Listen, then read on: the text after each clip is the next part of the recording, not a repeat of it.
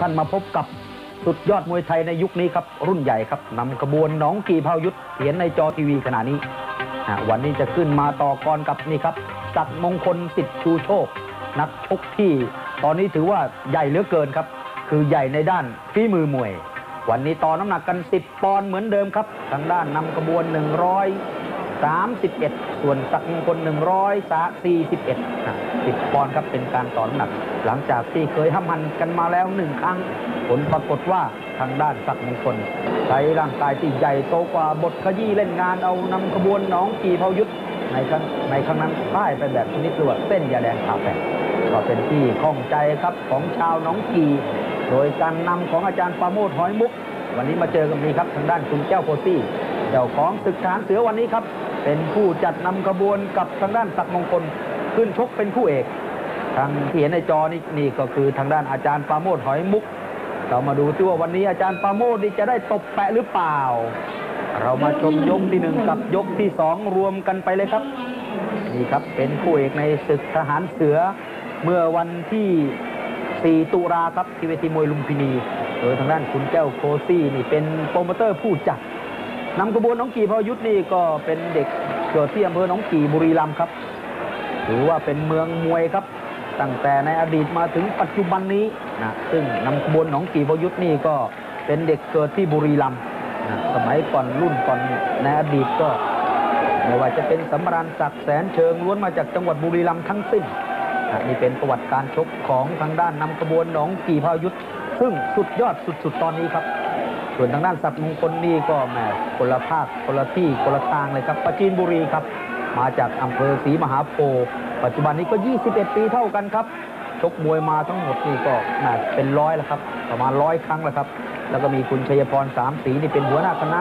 อย่างคุณชัยพรหัวหน้าคณะนี่รายนี้นี่ผู้ยึดธรรมะครับ อยู่กับพระไม่เล่นการพนันครับ เราก็มาชมมวยกันต่อครับนี่เป็นยกที่สองหนึ่งกับสองรวมกันครับ กรรมการผู้ห้ามบนเวทีพันโทธีระนาวังวราครับครับทั้งคู่ก็เต้นกันอยู่กลางเวทีดูในด้านรูปร่างแล้วจะเห็นครับว่าทางด้านศักดิ์มงคลนี่ใหญ่กว่าเห็นครับ แต่บางครั้งมวยใหญ่ๆนี่อาจจะใหญ่ฟักใหญ่แฟงก็ได้ หรืออาจจะเป็นใหญ่ถูกทหาร เดี๋ยวเรามาดูมาพิสูจน์กันยกที่สองครับ เป็นหมดยกที่สองครับ ดูภาพช้าๆชัดๆครับ ครับแข้งขวาของนำขบวนใครจับใคร ไม่ใช่นำขบวนจับไถครับกลายเป็นศักดิ์มงคลเป็นฝ่ายจับ วันนี้ทางด้านศักดิ์มงคลนี่แก้เกมมาดีครับ รู้ว่าทางด้านคู่ต่อสู้นี่เป็นมวยที่จับแล้วไถเก่ง ก็เลยเจาะแต่ล่างครับไม่ยอมขึ้นบนชมกันต่อครับ ยกที่สามเปิดฉากมาก็เป็นการขีดทำทำลายจังหวะกันก่อนนี่เป็นยกที่สามแข้งขวาจับไปที่ลำตัวของศักดิ์มงคล ไม่สะเทือนครับตัวเล็กเตะตัวใหญ่ บอกว่าเตะอย่างนี้ผมชอบเป็นการกระตุ้นกล้ามเนื้อให้ตื่นตัวเราเป็นฝ่ายนำใบเบิกทางด้วยการขีดเข้ามาก่อนแทงซ้ายโอ้โหตรงนี้ครับถ้าเป็นยกที่ห้านี่ถือว่าอย่างนี้ต้องเรียกว่าเช็คบินเข้าโฟไปเลยจะติดบังก็จริงมาแต่ถึงกับหงายเก๋งลงไปนี่แหละครับ มวยระดับเงินแสนทันเกมครับ คุณแข้งมาฉันก็แข้งต่อไป คุณเข่ามาฉันก็เข่าต่อไป ประเภทพวกมาจดจดจ้องจ้องมัวแต่ส่องกล้องนี่กรรมการบอกไม่มีคะแนนครับ เพราะสมัยนี้เดี๋ยวนี้แฟนมวยนิยมประเภทพวกบูรังฐาน แบบแรมโบ้พงศิริอย่างนี้ยิ่งชอบเลย ครับนี่เป็นการชกยกที่สามโดยเฉพาะอย่างยิ่งมาวันนี้ทางด้านศักดิ์มงคลนี่ไม่ยอมเตะครับหมายถึงไม่ยอมเตะสูงแต่เตะล่างเตะล่างจับแก้ทางโมใครจับต้องจับแล้วไถเท ทั้งเททั้งไถไม่ได้เพราะแกทางมวยมาดีตักมงคลมวยตัวใหญ่เห็นนะครับในจอทีวีนี่ใหญ่กว่าเห็นครับแต่อย่างว่านะครับนำขบวนบอกไม่ใหญ่กว่าเธอ ที่ก็เจอมาแล้วไม่ว่าจะเป็นจงสนั่นนี่ใหญ่ๆสิบกว่าปอนก็แบกมาแล้ว แล้วก็เล่นงานจงสนั่นนี่เธอเชิงมาแล้ว มาดูของใหญ่แบบสักมงคลบ้างทั้งคู่ก็มาจดกันครับกลางเวทีแทงซ้ายเข้ามา มาต่างฝ่ายต่างระวังลูกจับแล้วครับ เพราะว่าทางด้านศักมงคลนี่ลูกจับวันนี้ก็เตรียมมาจับเหมือนกัน จับจับไม่อยู่ครับหัวดแข้งขวาหลุดหมดยกที่สามมาดูภาพช้าช้าชั่วชัวๆแทงซ้ายลูกนี้เฉียดออกข้างไป วางติดเข้าไปดันซ้ายแล้วก็แข้งขวาโต้ไปลูกติดบังถึงก็หงายเก๋งลงไปครับ โอ้โหลูกนี้นี่เข้าโก อย่างนี้ดึงว่าตามภาษามวยก็เรียกว่าเข้าโกรับทรัพย์ครับไถครับไถลงไม่ลงไม่ลงครับ อย่างนี้ลูกนี้ไถไม่ลงนี่มาสร้างความหนักใจให้กับนำขบวนดูครับ ดูอีกภาพหนึงครับ ยันยัน ยันแล้วฟันด้วยศอกชัยพรสามสี หัวหน้าคณะของศักดิ์มงคลสิทธิ์ชูโชคนี่รายนี้ก็ยึดธรรมะกับอยู่กับพระการพนันไม่ยุ่งครับ แล้วพี่เลี้ยงที่เห็นในจอนี่คือคุณรักแท้ครับครับรักแท้ไม่ใช่รักเทียมครับ เป็นฝันใจของหนูเปิ้ลครับ เรามาชมกันต่อยกที่สี่ นำขบวนหนองกีพหุยุทธศักดิ์มงคลสิทธิ์ชูโชค เปิดฉากมาก็เล่นเกมถีบกันก่อนเรียกว่าเป็นการทำลายจังหวะ เป็นลูกถีบที่ไม่หนักหนา แต่ทำให้คู่ต่อสู้นี่เสียจังหวะปล่อยขวาเตะขวาปล่อยขวาเตะขวาฉันก็โต้ด้วยขวาเหมือนกันนำขบวนฉันมาตัวใหญ่เดินครับตอนนี้ทางด้านศักดิ์มงคลต้องเป็นฝ่ายเข้าหาบ้างแล้วนะเห็นเลยครับทางด้านหลัง ด้านหลังนี่เป็นแผ่นครับของศักมงคลนี่ โอ้โห ใหญ่จริง ๆ ครับนี่เป็นยกที่สี่ขยับเข้ามา ขยับเข้าไป แล้วก็ถีบนำมาก่อนเป็นนักชกที่ว่าชกสนุกครับ ทั้งคู่นี่คุณจะเห็นว่ามาแข้งฝาของนำกระบวนศาสตร์ไปแล้วก็หยับซ้ายขยับขวาแล้วแข้งฝาไปอีกแข้งหนึ่งติดเข้ามาแทงซ้ายดูดีวงในครับข้อใครแข็งข้อใครแข็งคนนั้นก็เอาชัยชนะไป ยันด้วยซ้ายพยายามจะเตะขวา แต่ไม่ทันได้ออกอาวุธครับทุกซ้ายเข้ามาแล้วก็ต่อยขวาตามไป ติดเข้าไปขยับเข้าไปครับสักมงคลมวยตัวใหญ่ทุกซ้ายเข้ามาสู้กันที่วงในเด้งตั้งไปเด้งมาดูลูกเด้งแล้วของสักของทางด้านนำขบวนจะสวยงามกว่า ดูครับตัวเล็กตีตัวใหญ่ ตัวใหญ่ดันครับพยายามดันครับพยายามดันแล้วแทงขวา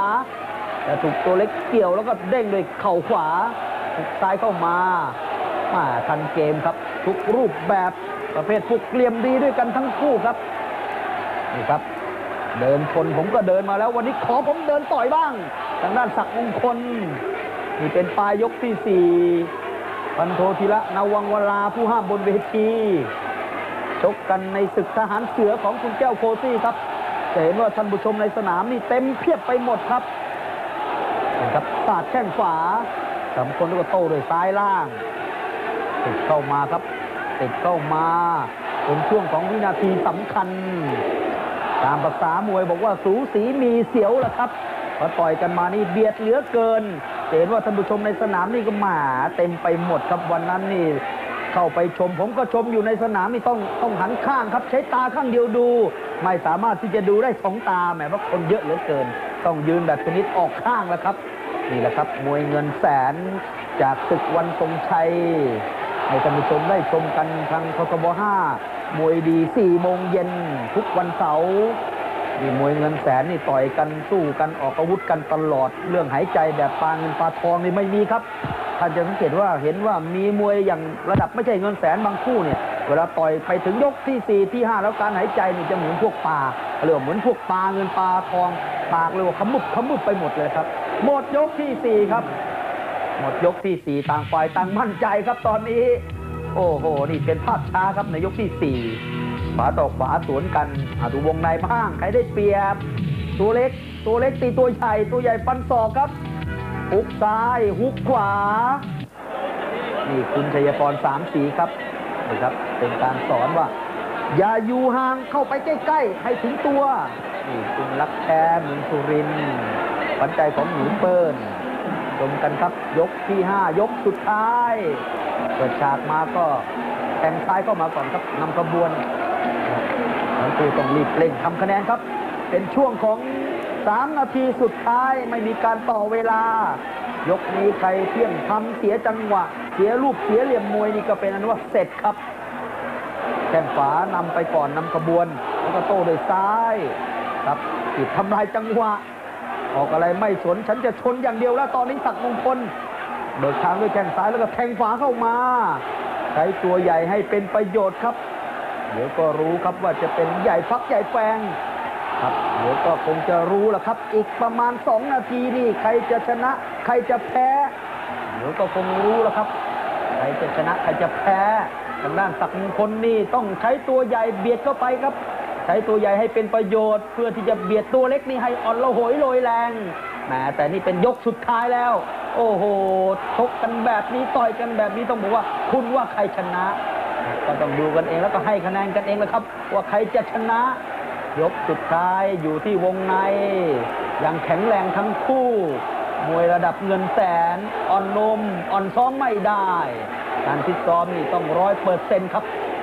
มาเหี่ยวมายุบมาย่นนี่ไม่ได้ครับเสร็จใครเหี่ยวใครยุบใครย่นนี่เสร็จครับ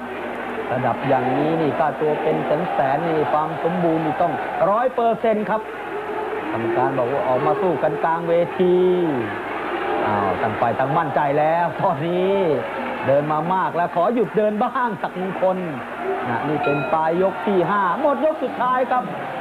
ครับนี่แหละครับ อาจารย์ประโมทยกมือชูมือขึ้นมาเลย ชูมาด้วยความมั่นใจ คุณชัยพรสามสีก็มั่นใจครับกรรมการธีระนวงเวลา หยิบคะแนนแล้วก็ให้ทางด้าน